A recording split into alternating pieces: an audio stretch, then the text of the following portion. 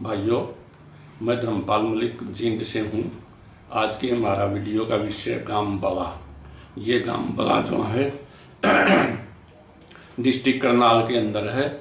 इसकी तहसील असंध है और जो ये करनाल से 25 किलोमीटर दूर है। ये मानगोद के जाटों का गाँव है। ये बड़ा ऐतिहासिक गाँव है और गाँव के और हरियाणा के सबसे पुराने गाँव में से एक है और सबसे बड़े गाँव में से एक है। इसमें मान गोत्र के जाट बसते हैं। सन अठारह के अंदर इस गाँव के लोगों ने अंग्रेज़ों के खिलाफ विद्रोह किया था। उन्होंने ज़मीन का मालिया देने से इनकार कर दिया था और इस गाँव के किसानों का नेता था रामलाल मान, जो ने वो जाट था। और लोगों ने इकट्ठे होकर, गाँव ने इकट्ठा होकर मालिया देने से इनकार कर दिया। अठारह सौ सत्तावन का जो विद्रोह था, उसके दो मुख्य कारण थे। कारण तो अनेक थे, लेकिन दो मुख्य थे। एक तो सैनिकों ने विद्रोह किया, सबसे पहले अम्बाला में, फिर सारा हरियाणा में, यहाँ सिंसार सिरसा रोहतक पानीपत, फिर हर जगह करनाल, हर जगह विद्रोह किया। वो सैनिक जो, वो तो किसानों के बेटे थे और दूसरे किसान थे। सैनिक तो इसलिए दुखी थे, लोगों ने, उन्होंने एक नई राइ, इनफील्ड राइफल के नए कारतूस अंग्रेज़ों ने जो नहीं वो बनाए थे, जिनके अंदर सुअर और गाय का मीट का जो नहीं वो ग्रीस था, जिससे वो और वो मुँह से काटने पड़ते थे। हिंदू गाय को पवित्र मानते हैं और कुरान के अंदर सुअर का मांस खाने की मनाही है। इसलिए इससे हिंदू और मुसलमान दोनों सैनिक नाराज़ हो गए और सैनिकों ने विद्रोह कर दिया दस मई अठारह सत्तावन को अम्बाला की छावनी के अंदर। किसानों से जो नहीं, वो टैक्स बहुत ज़्यादा लिया जाता था, ज़मीन का मालिया जैसे हमने हर गाँव के अंदर सुना है कि जो नहीं, पहले गाँव की पर्स के अंदर जिसका माल नहीं फूकता था, उसको पर्स में बुला के कान पकड़ा करके उसको किसान की पीठ के ऊपर डले रख दिए जाते थे।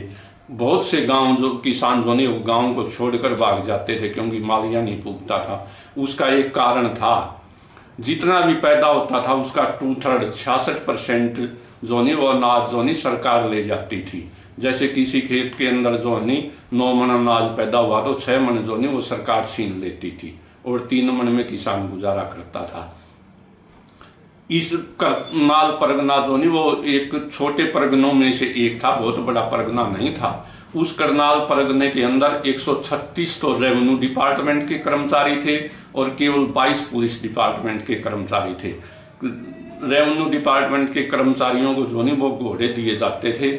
आपने हरियाणा के अंदर एक कहावत सुनी होगी कि थर गया घोड़े वाला। पूरे को तो घोड़े, वो घोड़ा जो नहीं वो रेवेन्यू डिपार्टमेंट के जो नहीं वो कर्मचारी थे और वो घोड़े के ऊपर ज़मीन का मुआयना करते, फ़सलों का मुआयना करते हुए घूमते थे। किसी खेत में अंदाज़ा दस मन की फ़सल होती थी, वो बारह मन दिखते थे। ये वो किस अंग्रेज़ लोग जो है, वो किसानों की आग, खून की आखिरी बूंद तक चूसना चाहते थे, ताकि उनको सिर्फ़ ये हरियाणा में एक कहावत है कि भूखा क्या क्या भूखे से पूछा जाए कि दो दो चार कितने होते तो वो कहेगा चार रोटी। कि किसान लोग केवल अपने रोटी तक की सोचें, वो विद्रोह की ना सोचें, इसलिए किसानों के ऊपर पूरा रगड़ा लगाया जाता था। इसलिए किसानों ने भी विद्रोह कर दिया और उसका किसान सारे हरियाणा के किसानों ने विद्रोह किया था और उसका कारण था बहुत ज़्यादा मालिया लेना। आज जो किसान आज ज़मीन छोड़ के नहीं भागता, ज़मीन शहद से भी मीठी लगती है, उस समय क्यों छोड़ के भाग जाता था? आज भी बहुत से जो गाँव के अंदर बेचिरा खेड़े हैं। वो उन्हीं लोगों के हैं जिनसे ज़मीन का मालिया नहीं भरा जाता था और वो गाँव को छोड़कर चले जाते थे। लेकिन आज हम आते इसी विद्रोह के अंदर, गाँव बला के किसानों ने जो नहीं वो जो नहीं मालिया देने से, ज़मीन का टैक्स देने से इनकार कर दिया था। जब रेवेन्यू विभाग के कर्मचारी मालिया लेने के लिए गए तो उन्होंने उनको भगा दिया था। रेवेन्यू कर्मचारी डिपार्टमेंट की इतनी वैल्यू थी कि आज भी जो नहीं गाँव के अंदर नहरी पटवारी के बजाय कल्टरी पटवारी की जो नहीं वो ज़्यादा इज़्ज़त है और वो बड़ी मरोड़ के साथ अपने स्कूटर, मोटरसाइकिल या कार के पीछे रेवेन्यू डिपार्टमेंट लिखता है। ये उसी समय की चली हुई परंपरा है। अब हम आगे आते हैं कि बड़ा गाँव के अंदर विद्रोह कैसे हुआ। बड़ा गाँव के अंदर उस टाइम जो डिस्ट्रिक्ट पानीपत होता था, करनाल एक परगना था। करनाल परगने का जो कलेक्टर था रेवेन्यू कलेक्टर वो अंग्रेज़ था जिसका नाम लीबास था। उसने जो है नी बड़ा गाँव के जब किसानों ने कर्मचारियों को नेहरू मालिया इकट्ठे करने वाले कर्मचारियों को भगा दिया तो उसने आर्मी की सहायता ली और आर्मी का कैप्टन था कैप्टन शूज़। वो फ़र्स्ट पंजाब कैवलरी को लेकर घुड़सवार सेना को लेकर, जोनी गाँव बला के अंदर 14 मई अठारह सौ सत्तावन को पहुँचा। गाँव बला जो है उसके चार गेट थे, चारों तरफ़ जो कच्ची दीवार थी और चार गेट जो मुख्य दरवाजे थे। दरवाजों के अंदर पक्का, पक्के मकान थे और गाँव के बाहर जो है वो गाँव के बिटोड़े थे, कुरडियाँ थी, कूप, तूड़ी के कूप लगे हुए थे और ये जो कपास की बसंटी वगैरह होती हैं, इनके मरीडे लगे हुए थे। तो गाँव लोगों ने, गाँव के, वालों ने चारों गेटों को बंद कर दिया और उन गेटों के आगे जो नहीं, बड़े बंद क्या कर दिया? बड़े बड़े लकड़ काट के पीपल, बड़े उनके बड़े बड़े लकड़ जो नहीं, वो डाल दिए ताकि सेना प्रवेश ना करे। जो नहीं, गाँव के अंदर चार गेट थे। एक मोनक गाँव की तरफ़ था, जिसका नाम मोनक गेट था। उसको होली गेट भी कहते थे, क्यों? थी, गाँव के उस तरफ़ होली बनाई जाती थी। दूसरा जो है नी वो पादा गेट था, वो जोनी मानपुरा का जो रास्ता आता है, वो गेट था। तीसरा जोनी गोली गेट था, वो गोली गाँव की तरफ़ था। और चौथा मठ गेट था। मूल जो कैप्टन यूज़ था, वो मून गाँव की तरफ़ से आया था। उसने जोनी जाते ही गाँव वालों को कहा, माल भरो, मुनादी करवाई। गाँव वाले ने जो मुनादी करने वाला था, तुरी बजाने वाला था, उसको कत्ल कर दिया। गाँव के 900 लड़के जोनी, वो लाठी गंडा से लेके तैयार थे, जिनमें सो के पास मैच बॉक्स था। और जो है नी तीन चार घोड़े घायल हो गए कैप्टन वूज ने मुन गेट से गाँव के अंदर प्रवेश करने की सोची। गाँव वालों ने मैच बॉक्स होते हैं, देसी कट्टे। उनसे और उसके अंदर वो दोषी बंदूकें, लोहे के टुकड़ों की गोलियाँ भरी जाती थी। वो चला दी, जिसमें कई सैनिक घायल हो गए। एक जो मुनादी करने वाला, तूरी बुझाने वाला था, वो मारा गया। तीन चार घोड़े मारे गए। ये अंग्रेज़ लिखते हैं, जबकि जीतने वाला इतिहास अपने हिसाब से लिखवाता है। फिर जो है नी, उसने मठ गेट के ऊपर अटैक किया। वहाँ भी उसकी जो नहीं वो चारा नहीं चला, वो गाँव के अंदर प्रवेश नहीं कर सका। उसने जो नहीं गोली गेट के ऊपर रात को जो नहीं अंधेरे में घुड़सवार सैनिक थे और पैदल सैनिक थे। इन्वेंट्री तोफखाना था। तीनों सेनाएँ थी। Artillery, infantry and cavalry. उसने गाँव में प्रवेश करने की सोची। गाँव वाला ने फिर गोलियाँ चला दी। उसमें दो जो नहीं वो नेटिव एंड नेटिव ऑफिसर जिनको जो जेसीओ कहते थे जू, जूनियर कमीशन ऑफिसर और जो नहीं तीन सैनिक मारे गए बहुत से घोड़े घायल हो गए। ऐसा जो है नहीं और उसका खुद का बॉडीगार्ड था अजीम खान वो भी मारा गया। ऐसा खुद कैप्टन ह्यूज लिखता है। उसके बाद जो नहीं उसने अंग्रेज़ों की सेना ने जो वो पीछे हट गई और ये गाँव में देहात के अंदर चारों तरफ़ बुरी तरह से, जैसे जंगल में आग फैलती ऐसी अफवाह फैल गई कि बड़ा गाँव के अंदर अंग्रेज़ों की सेना को हरा दिया गया है। कैप्टन ह्यूज ने जोनी गाँव के बाहर एक समतल एक गाँव के एक तरफ़ जोनी वो नदी थी, जिसको पुरानी नदी कहते हैं, जो शेर शाह फिरोज तुगलक ने बनवाई थी। फिरोज तुगलक ने जोनी तेरह सौ के अंदर हिसार शहर बसाया था। और अपने इंसार में मैंने छावनी अपने घोड़ों को पानी पिलाने के लिए वो ताज़ा वाला से यमुना से एक नहर खोद के लिया था, जो वाया बला आती थी, जिसको आजकल वेस्टर्न यमुना कनाल कहते हैं।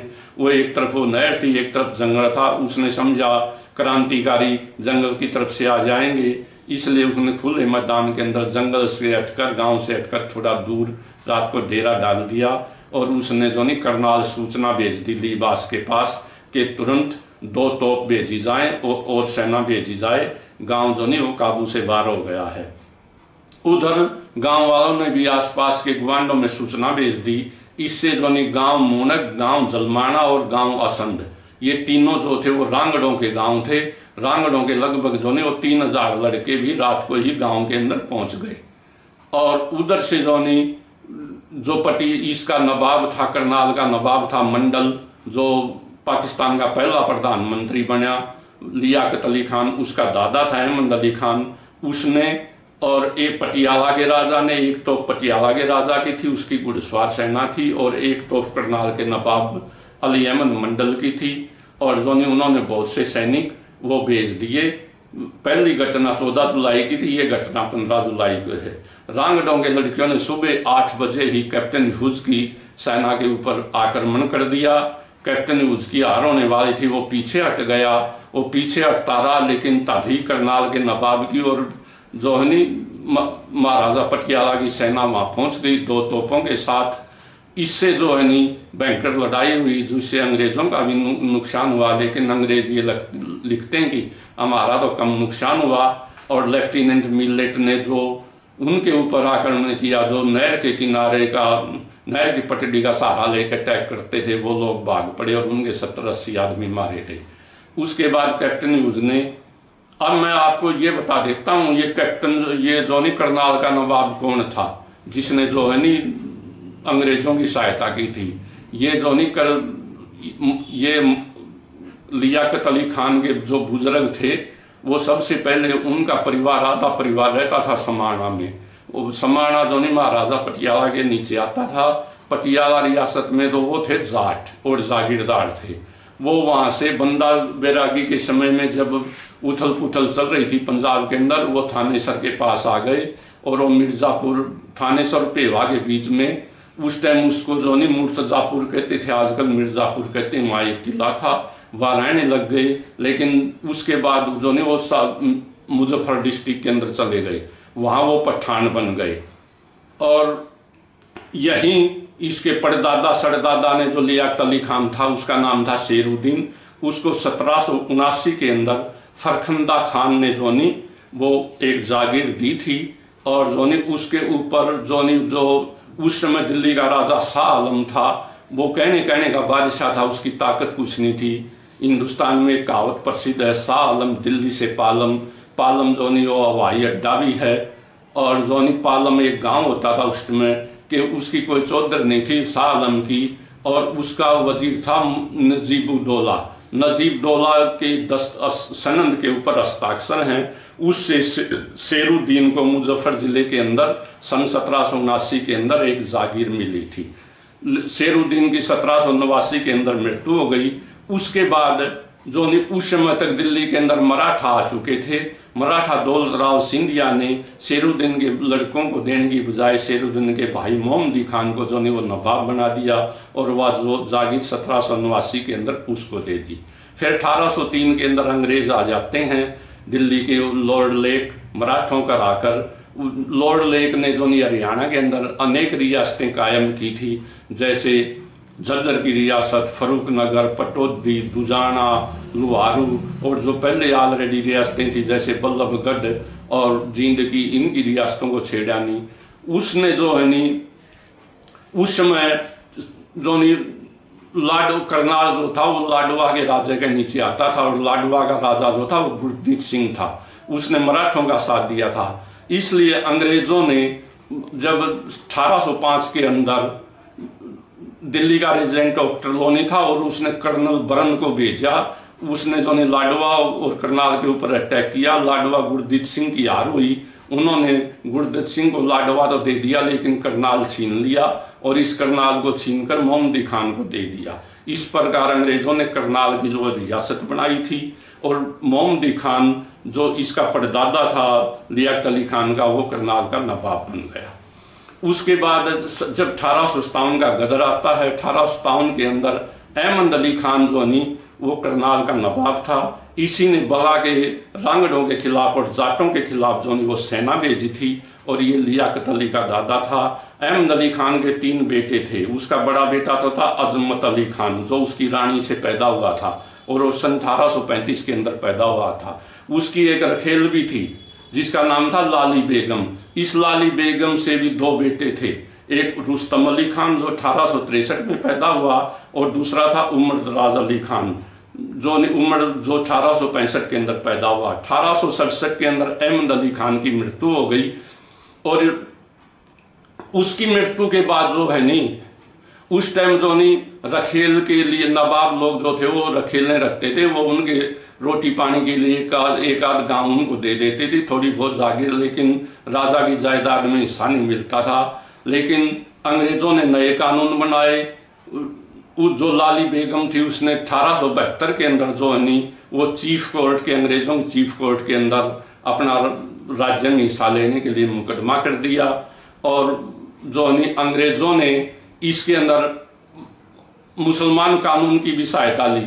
उन्होंने अहमद अली, काजी अहमद अली सैयद था जो तरावड़ी का, उससे भी पूछा। लेकिन अंग्रेज़ों ने कहा हमारे देश का ये कानून है कि जायदाद के अंदर सभी बेटों का बराबर का हक होता है। हमने जो जायदाद अठारह सौ छह में या अठारह अठावन में जिस भी नवाब को दी है, उसमें उसकी हर सारी औलाद का हिस्सा होगा। इसलिए जो लाली बेगम मुकदमा जीत गई और अठारह सौ चौरासी के अंदर लाली बेगम और उसके बेटे रुस्तम अली खान और उमर दराज अली खान को भी राज्य की रियासत में हिस्सा मिल गया। और ये जोनी रुस्तम अली खान ही लियाकत अली खान का पिता था। अठारह सौ इक्यानवे के अंदर अंग्रेज़ों ने अजमत अली खान को तो नवाब बहादुर की उपाधि दे दी और रुस्तम अली खान को जो नहीं ऑनरेरी मजिस्ट्रेट बना दिया।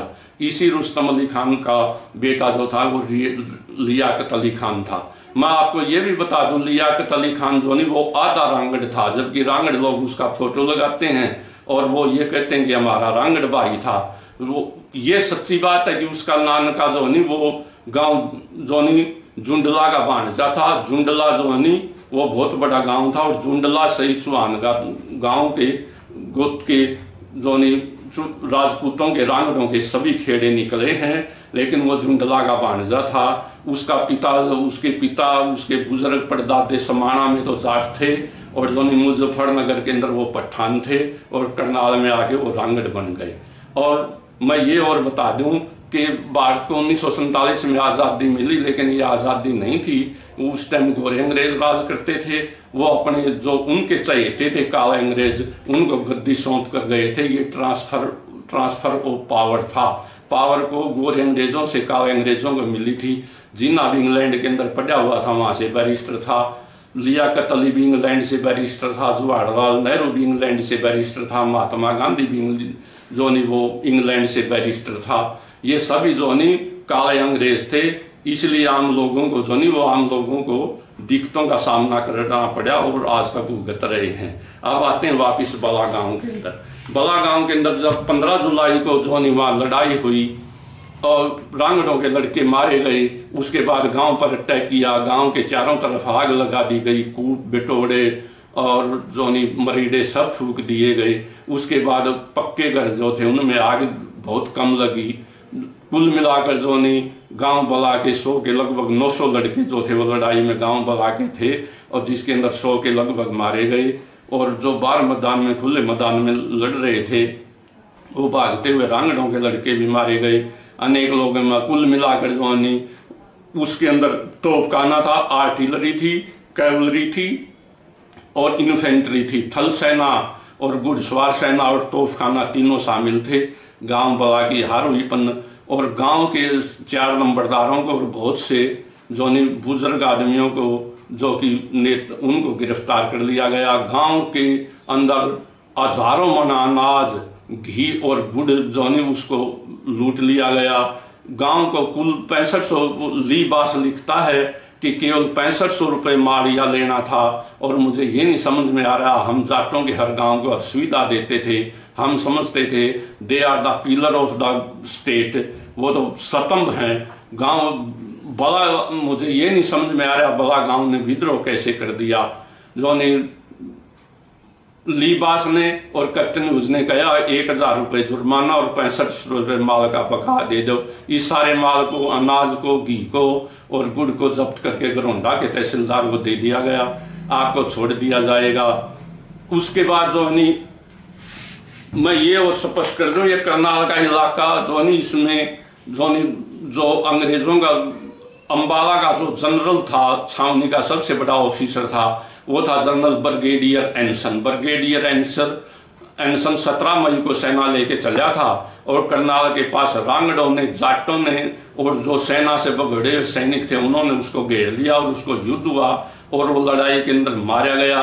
ऐसा जो अनिल ताजुद्दीन हिस्टोरियन लिखता इतिहासकार ताजुद्दीन, वो पंजाब का रहने वाला था। लेकिन अंग्रेज़ों ने इस घटना को छुपाया और उन्होंने कहा कि सताइस मई अठारह सत्तावन को एनसन की मृत्यु जो है नहीं ब्रिगेडियंस की मृत्यु एजा से हुई है और उसका कोई जो नहीं मिलिट्री का सम्मान नहीं दिया गया, न तोपों की सलामी दी गई। आनंद फानंद में उसको दफना दिया गया। जब अंग्रेज़ जीत गए, सारे बीस सितंबर अठारह सत्तावन को बहादुर शाह को कैद कर लिया गया। भारत के अंदर शांति हो गई तब एनसन के शव को निकालकर जाके इंग्लैंड के अंदर जाकर दफनाया गया था।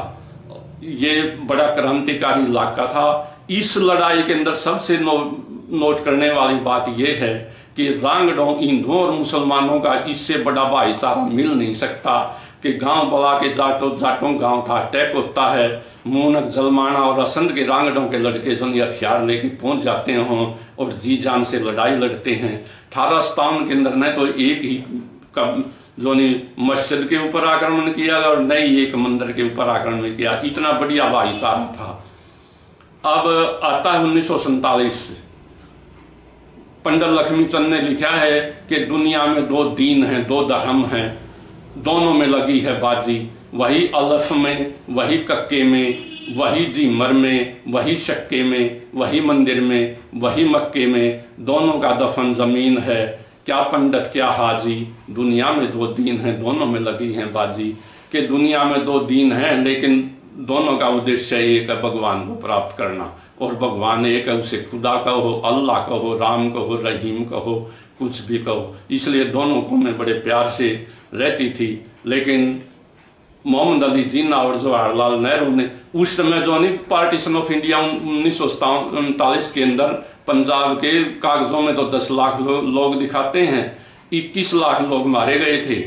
और जो है नी अंग्रेज़ लोग बी बी बच्चे और सेना केवल साठ हज़ार थे बीस लाख लोग जो नहीं वो मुक्तियों से मार देते अंग्रेज़ों को। लेकिन अनपढ़ता थी और नेताओं का जो है वो जो नेता अंग्रेज़ों के पिट्ठू थे, उन्हीं को सत्ता मिल गई और आम जनता जो नहीं भुगत रही है।